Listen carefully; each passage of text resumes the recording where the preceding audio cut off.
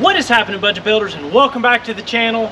On today's video, we get this hand-built Nash Metropolitan running for the first time in 36 years.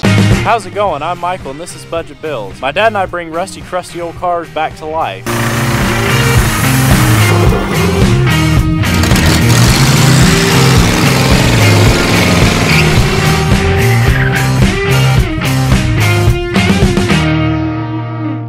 I'm not sure y'all will remember, but about a year ago we did a video on this car and I gotta be honest, originally I thought the car was fiberglass, just how wacky and crazy it is, but this car is almost completely steel. Somebody had a lot of time putting this thing together. There's a little filler in spots, most of it's lead. Gives you an idea of how long ago this was done, but it is such a wacky, different, ugly, goofy, odd little car and that's what we love about it. Now we actually bought this car almost three years ago. We bought it right at the same time that we bought our 1966 F350. Projects get in the way, other stuff happens and stuff like this gets put on the back burner. It's not only cool to work on this thing after sitting since 1985 but be able to get it going after having it ourselves for almost three years now. So now originally we did have that 1800 that we pulled out of that MGB that was actually getting built to be put in this car while we were in the process of getting that thing torn apart and everything. An actual 1500 high output, the original motor to this, obviously the original original was completely shot, but one just like the original was actually pulled out of a car in the mid 80s popped up on marketplace for 200 bucks and we went and snatched it up it was only a couple hours away in irmo south carolina brought it back here up here to the upstate let's go ahead and check that thing out. Let's get it cleaned up freshened up and get stuck in this car. Let's find out if this thing will run and drive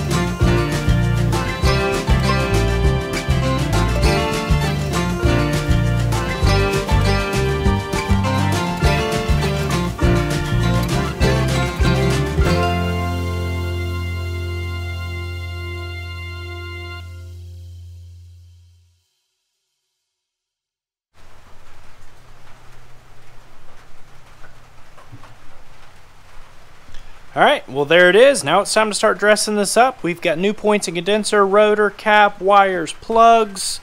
We do have an oil filter upgrade kit, which changes it to, I'm not exactly sure what filter it was again, I'll have to look, but it gets rid of this cartridge filter and just makes it a spin-on. These are kind of a pain because they're right up against the frame rail, and so it gives you a shallower, easier to get a hold of filter instead of having to order these cartridge filters. Pull this off, clean it up, do something with this valve cover, and we've got a few other little bits here. Got a carb kit that we're going to put in it and a fuel pump rebuild kit that we need to put on it. New motor mounts and we will run this thermostat list to begin with. I want to run a flush and make sure we get everything kicked through. Wasn't terrible in there, but it did have a little bit of crusties and so we want to get it all flushed through before we put a thermostat in there. But yeah, everything looks pretty good. We may go ahead and throw a, pit, a little coat of something on the manifold. And like I said, we'll do something with that valve cover and we'll get it ready and we'll go to stick this thing in the car.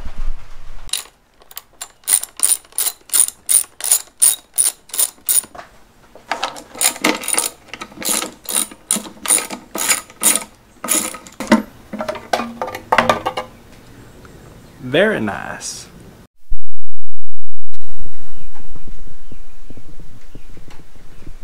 All right, well, it's just about time to be able to slap that motor in there. You're not really gonna be able to see it The master cylinders for both the clutch and the brakes are up underneath the car. Kind of a pain to get to, but I'm going to get up under here, get those pulled out so we can get the new ones put in. Here's how you get to your reservoirs. You can see those crusty old master cylinders. Oh. Up under here. Get them pulled out. All right, so we got the crispy critters off and those haven't been used in a long time. They're kind of rough. And so we have our two different sizes. Obviously you've got a 5 8 and a 3 quarter. Now this rod is correct, although it's for the brake, so for the 3 quarter. So we need to swap this to this one, and then this one's completely wrong, so we need to put our clutch rod on the 5 8 bore master cylinder. So we'll do we'll do the swapping around, get those stuck back in there, and we can start working on the brakes and the master, and we'll get ready to slap that motor in. All right, here we go. Got them all together. All you have to do is pull your little C-clip out of there. Obviously, it needs to be the same size bore for it to fit in there like it's supposed to. And uh, we've got them in there and everything looks good, so we should be ready to ride. All right, got those master cylinders in. Time to jump into each of these wheels get new pads and wheel cylinders and hoses put on. It's kind of funny. You can see this thing was lowered at one point in time with some hose clamps. That's the way to do it. I'm going to go ahead and get these knocked out really quick and we'll be able to stop the car when we roll it around to pick it up to put the motor in it.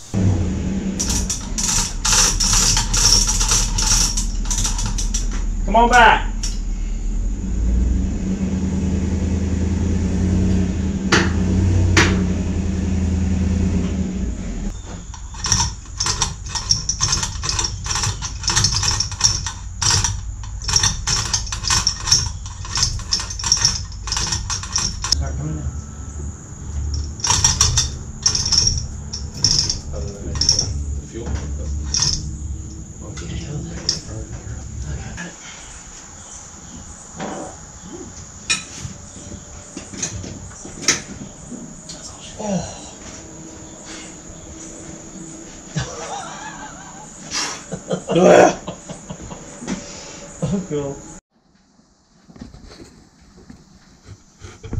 Pretty clean motor and a dirty little car. So this is one thing I have been wanting to do with this car. I know this carpet is absolutely gorgeous. It's just not quite right for me.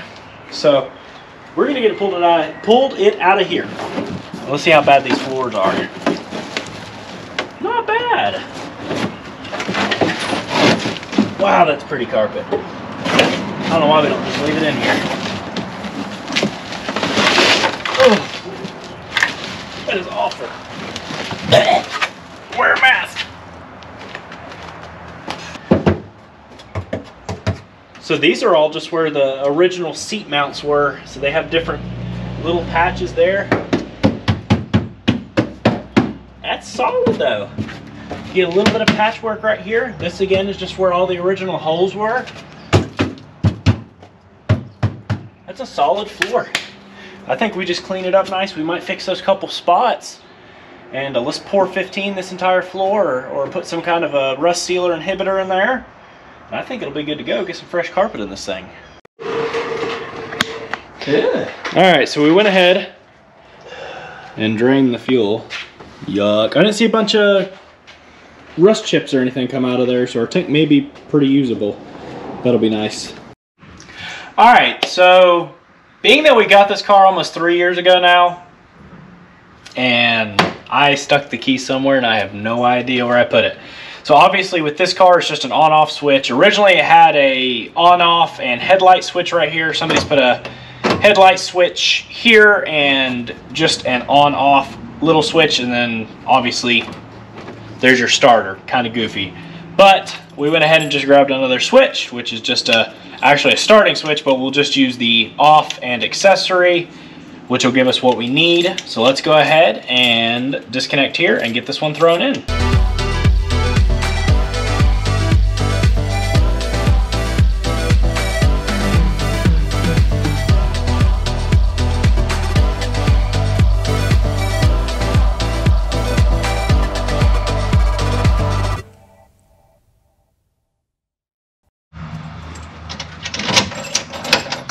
There you have it.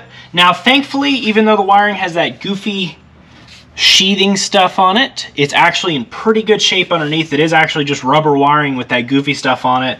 Not sure why they did that, but thankfully it's all in pretty good shape on this car, so I don't think we're gonna have an issue there, but now we have an ignition switch and we're one step closer to firing this thing off. All right, so obviously this car, being the age it is and British built, for some reason it's positive earth, which is kind of goofy, and we're gonna fix that. You can actually just swap it over. Thankfully, our battery cable here is in pretty good shape. We're gonna cut that, put a new ter positive terminal on it. We'll go ahead and remove what was the positive and put a nice ground wire, and then that'll be good to go. The only thing that, there's a certain style radio that won't work, and you have to flip your coil wires to the opposite direction. Uh, and then we went with an alternator, which has a self-charging and everything. You would have to jump out wherever it is. You actually have to jump out the regulator and reverse the polarity in that. But with what we're doing, because we have an alternator, all we have to do is switch those two wires and the wires at the back, and boom, we have a positive whatever system. the way it should be. All right, so there you go. Got a ground hooked up. We ended up just using that original wire.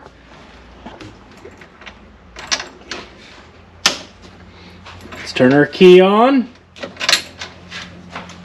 What is that? Oh, we got turn signals working. Check and see. Which one's working? Got a driver's side.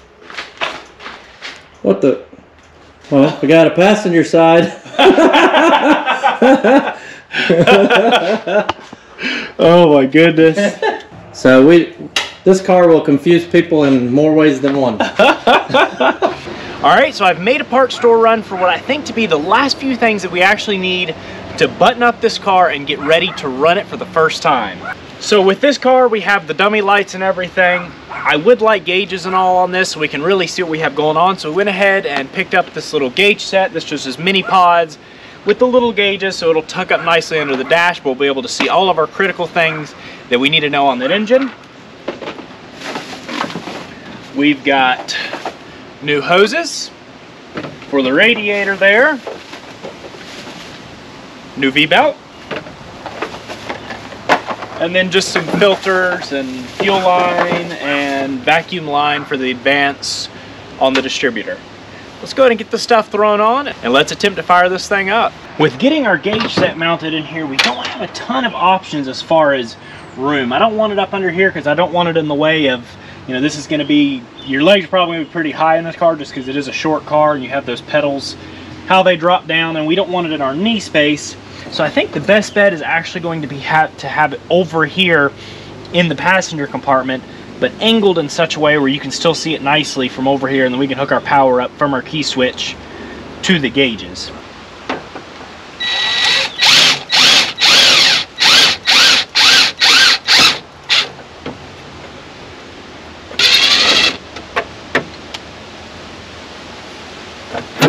Good glove box.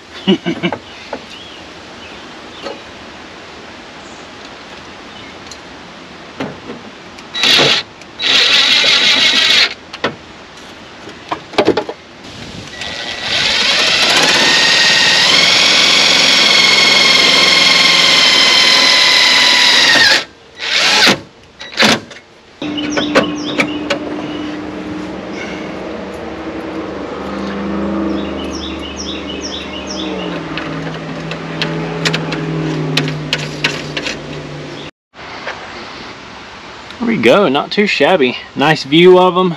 You can see them from the driver's seat. And it's not too, too over the top.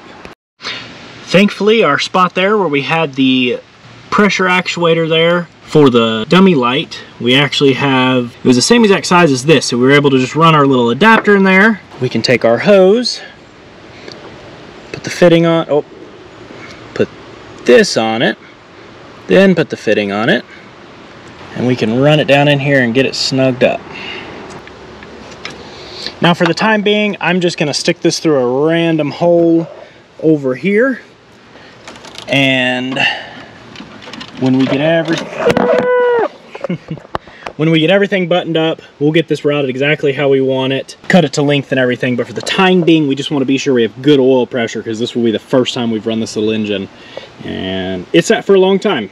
And so what's funny is, is this car's been off the road since 85. This motor, I think it actually been, it had been longer since this had ran than actually that. But it was pulled out of a car, stored away, and has been kept nice and dry. So we should be okay, but we want to be safe. All right, so I did go ahead, slide our radiator back in, bolted on, stuck our hoses, and we do have our new belt now.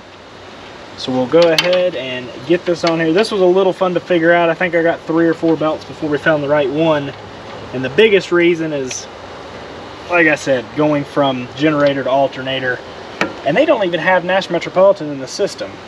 Crazy. All right, belts on. Coolant's going in. Well, water for now. We're gonna run it through a few times, let it flush. We do have our little vacuum line just temporarily run here for the vacuum advance. Everything's hooked up. We have fuel ran from there to the fuel pump. Let's go ahead and start turning this thing over, check oil pressure, and see if it starts pulling fuel. We're gonna do this without the key to begin with.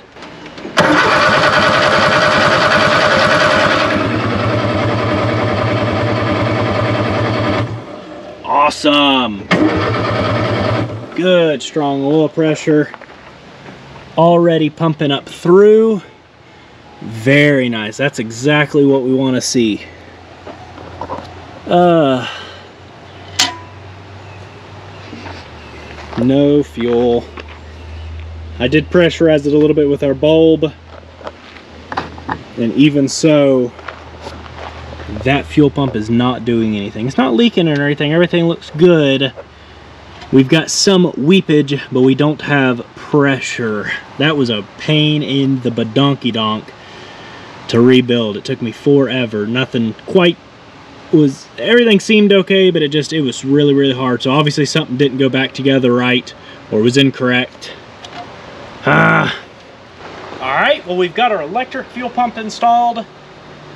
This car has been off the road, non-running since 1985.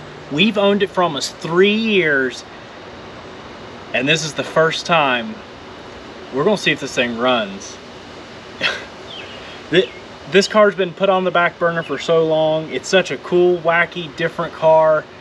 We ran out of our way to save this thing before we actually started YouTube and it's just been it's been something that's been put off for so long parts are hard to find for these and we finally pieced everything together i'm so excited for this you guys ready we'll pull our choke out. Let me give it just a little bit of fuel.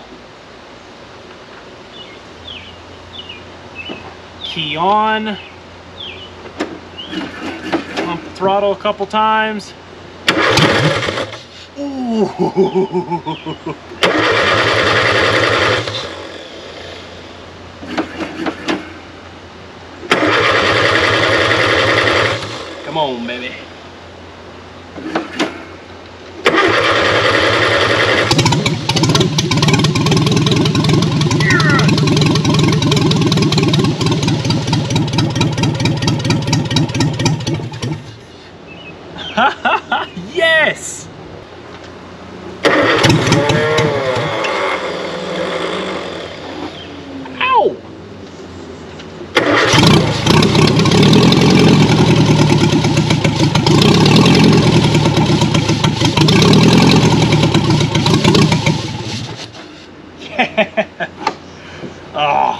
awesome sound. It sounds great. Killer oil pressure.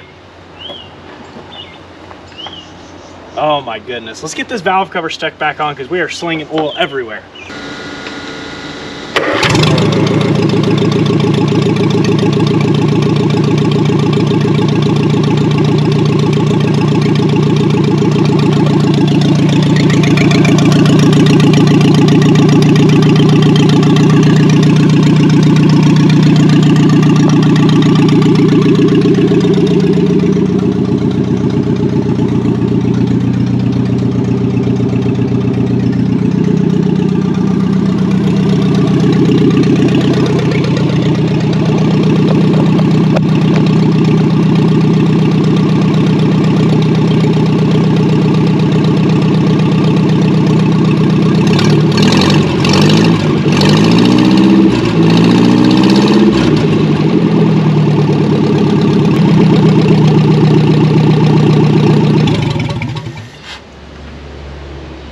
That is exciting.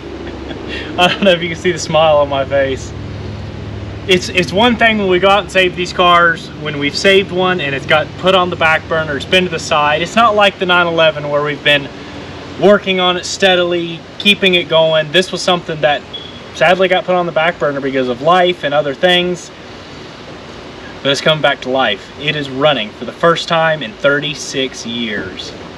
So I'm not sure if you could tell, although this is the end, it was blowing fuel out. So that means this is backwards. It's working, it's just backwards. Not sure how it ended up that way.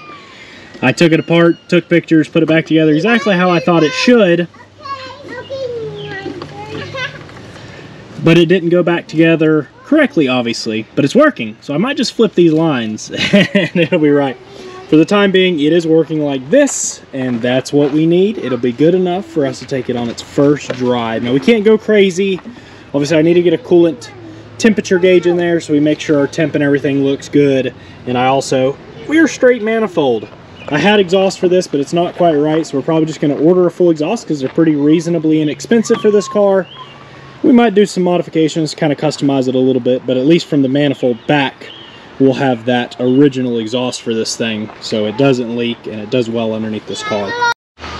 All right, so with the car down here on the driveway, one thing that I want to go ahead and do that we've been wanting to do is wash this thing because it has 36 years of barn filth. What's a shame is you can tell this thing had been repainted at some point of time with this kind of eh, weird green and it was all it was originally when it was first built i do believe this was actually a show car at one point of time was this really really cool pretty candy apple green. And they went that darker green at some point of time so we may have to bring this thing back to that original color. Let's go ahead and get this thing blasted off and give it its first wash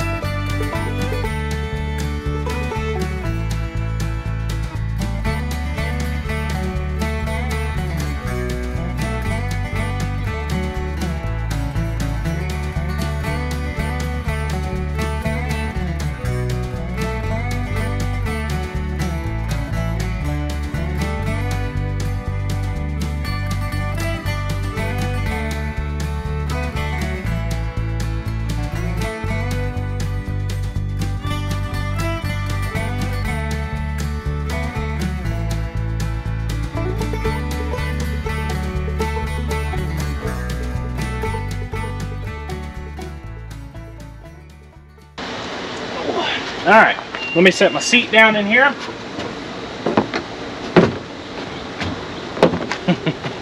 my seat cushion. All right, so obviously I'm sitting up in the air with this tire. and that's how the seats, the Mustang and the Cougar seat that was actually in this thing sat. So we have some different seats we're gonna be putting in this thing. But it runs, it seems to run pretty well at this point. We have brakes and we have a clutch. Let's see if this thing will drive. You ready?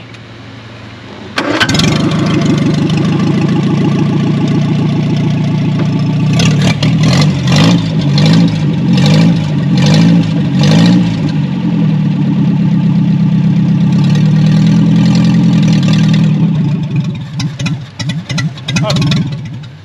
Let me hook the fuel pump up, it might run better.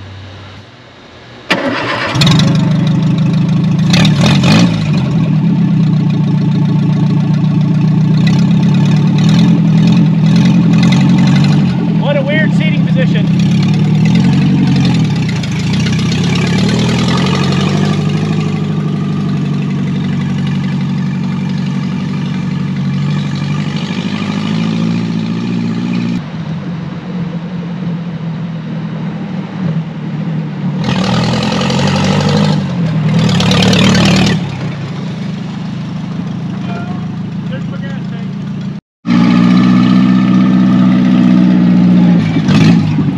strap or something on that gas tank.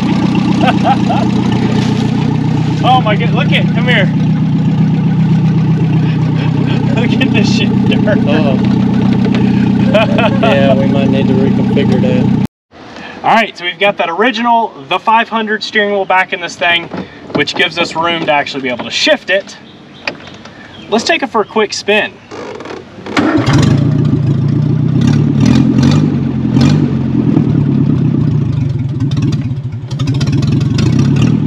You mind, you got a hold of that? Yep.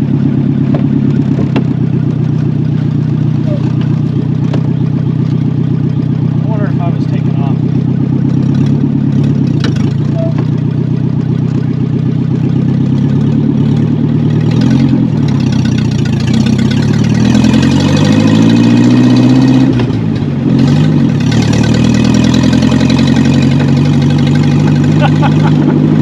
Thing's so silly. I'm out. The, this is cool. It's like a hot rod. But it's, But it's not. it's not. it's far from it.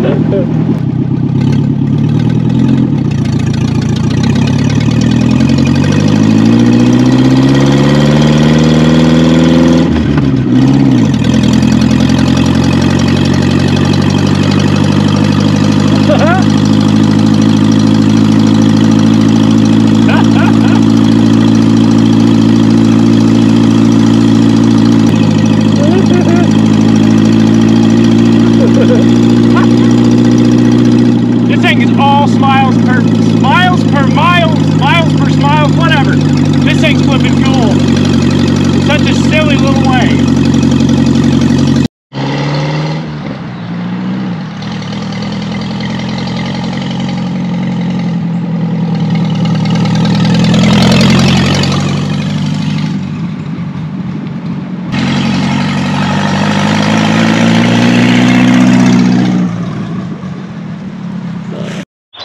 All right, y'all. Well, that is going to wrap it up for this episode.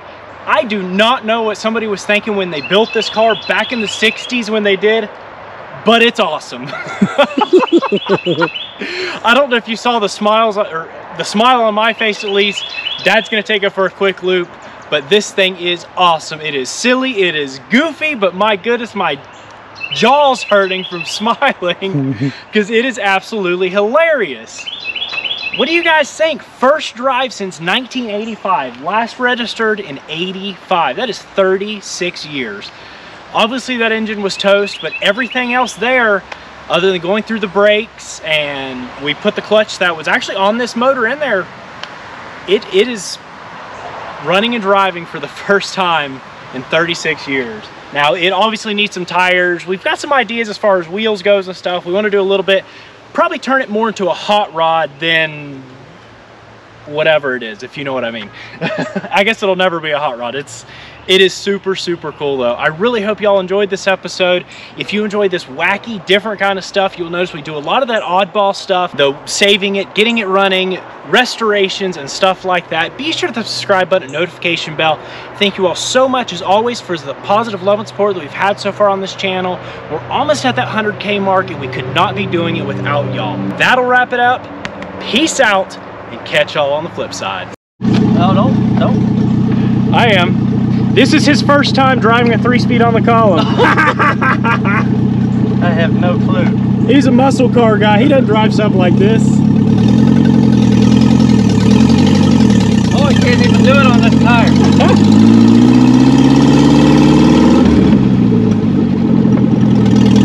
Oh yeah.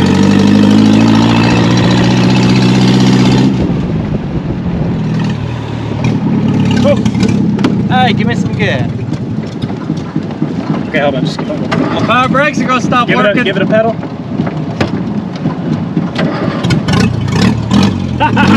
Forgot to hook the fuel up.